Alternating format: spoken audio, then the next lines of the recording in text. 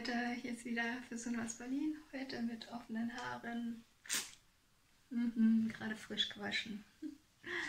ja, ähm, heute ein What I Eat in a Day Video. Mal was wieder was anderes. Und ihr seht, was ich so esse, damit ich fit bleibe oder was mir halt schmeckt. ja, das war es eigentlich. Und jetzt folgen die ähm, ja, Sequenzen, was ich so esse. Tschüssi. Jetzt erstmal mein Frühstück, mein Müsli, mein leckeres, hm, freue ich mich drauf. Und mein Matcha-Tee und mein normaler Tee, den trinke ich immer. So, na, hier geht's weiter. Jetzt habe ich so nach zwei Stunden Hunger bekommen. Darum mache ich mir diesen Activia-Joghurt. Da mache ich mir nur so eine Tasse rein und danach esse ich noch die Mandarine. Habe ich doch noch mehr Hunger bekommen von dem Joghurt, durch den Joghurt und die Mandarine. Darum wird jetzt diese Dose geführte Weinblätter gekillt. Da mache ich noch schön eine halbe Zitrone drüber.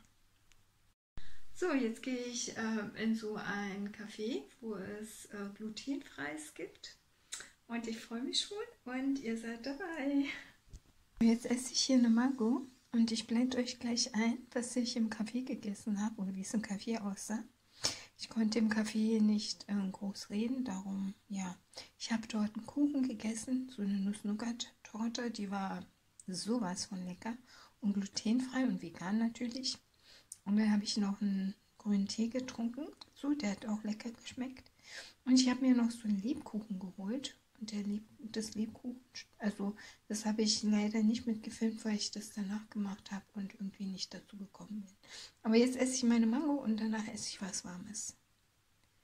Ich bin übrigens zurück vom Tanzen. Ja, genau. Und jetzt esse ich hier noch was am Abend.